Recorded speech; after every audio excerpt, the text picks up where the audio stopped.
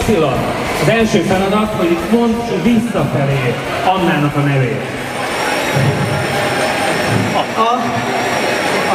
Nagyon jó, így van, Anna visszafelé. Anna, ez sikerült, rendben van, tőled nem kérek ilyet, Anna.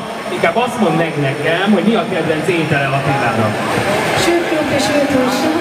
Sült krumpli, hússal, hát egyetek egy jót, vagy egyétek meg a pocicsokit, az most ad meg neked kis energiát. Nagyon szép eredményt értetek el, szerintem találkozunk holnap a döntőben. Köszönöm szépen.